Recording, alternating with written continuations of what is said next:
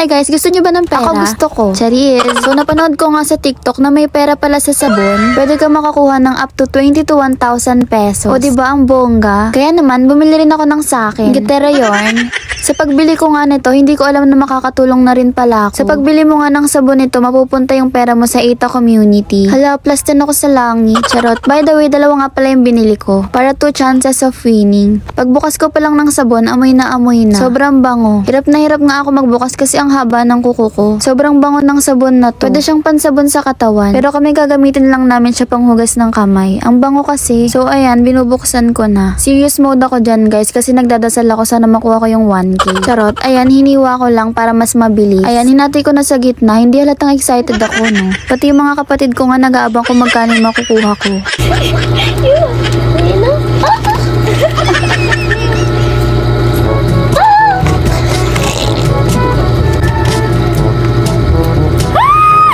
Magkano, magkano? Wala pa nga eh. 'Di ba? Mas nauna pa yung sigaw ko kaysa sa pagbubukas ko. Ang galing nga ng sabon na to, napapasaya niya ako. Pero by the way, ayan na, malapit ko nang mabuksan. Pa.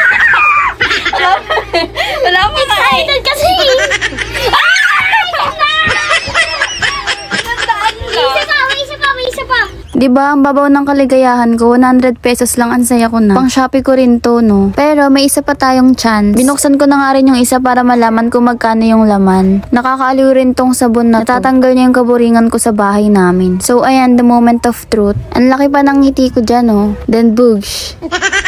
Nalungkot siya bigla. Na-disappoint sa 20 pesos. Tapos yung 20 pesos nila kailangan mo pang i-claim. Hindi kagaya dun sa 100 pesos, totoong pera talaga. Pero okay lang, napasaya rin naman ako ng sabon na to. Ilalagay ko na lang sa caption and sa comment section kung saan ko nabili tong sabon na to. Bumili na kayo, buy for a cause naman siya. So yung pera niya may mapupuntahan din. Tapos may sabon pa kayo, o di ba? So shoutout naman tayo. Shoutout kay J Dump, kay Alia Sheen, kay Farhana Saban, kay Crane Filma, kay Norshid Kumaladang, kay Realin Largo, and kay Rain Jereen Robero. Yun lang, palike, follow, and share nga pala ng page ko. Thanks for watching!